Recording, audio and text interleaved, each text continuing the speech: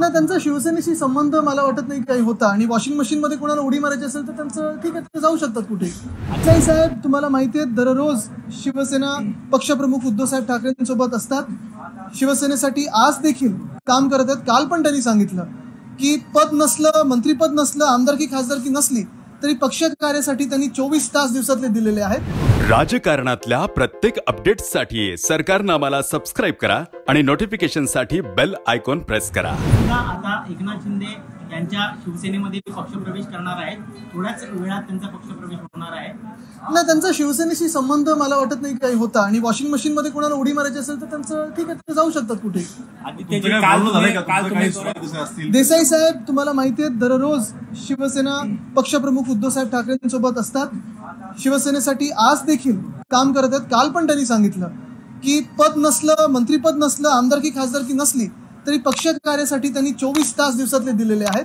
आणि त्यांच्यासारखी निष्ठा तीच प्रेरणा घेऊन आम्ही काम करत असतो. त्यांचे आशीर्वाद घेऊन काम करत असतो. आदित्य जी काल वीडियो वाले मामले में और कहा जा रहा है कि एक नहीं नहीं उसमें मुझे ध्यान नहीं देना है क्योंकि आप देखिए ऐसी बात निकाल कर जो महाराष्ट्र के सच्चे विषय है असली विषय है किसानों के होंगे या फिर अन्य सारे विषय है लॉ एंड ऑर्डर के काफ़ी बड़े इश्यूज़ हो रहे हैं उसको कहीं ना कहीं नजरअंदाज करने का ये एक प्रयास है।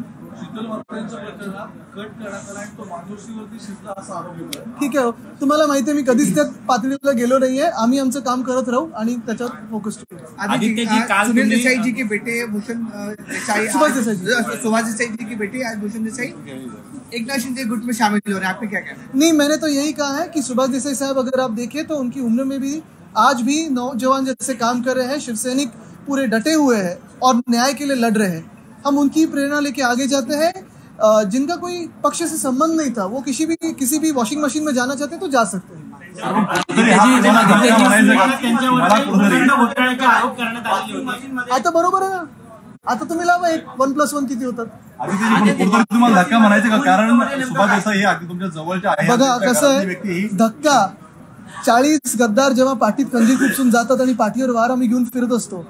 तो धक्का हा वेगळा असतो पण कुठेही आम्ही त्याचं काही वेगळा विचार न करता आम्ही आमच्या महाराष्ट्रासाठी लढत आलेलो आहोत. धक्का स्वतःसाठी नाही जे सरकार पडलं. मी सतत मागच्या वेळी पण काल पण बोललेलो आहे की महाराष्ट्राला जो सुवर्णकाळ आम्ही दाखवत होतो तो आज अंधकारात गेलेला आहे महाराष्ट्र. आपल्याला आठवत असेल की आमच्या वेळी साडेसहा लाख कोटीची गुंतवणूक अनेक वेगळे वेगळे उद्योग आमच्या राज्यात आले.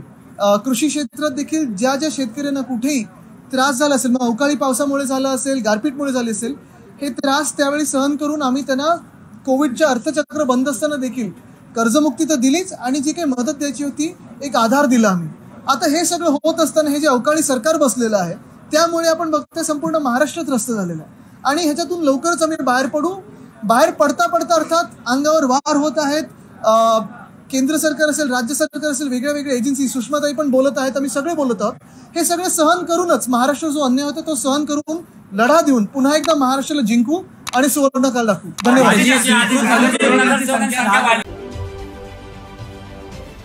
राजकारणातील प्रत्येक अचूक बातमीचे सर्वात आधी अपडेट्स मिळवण्यासाठी सरकारनामाच्या सर्व सोशल मीडिया प्लॅटफॉर्मला लाईक फॉलो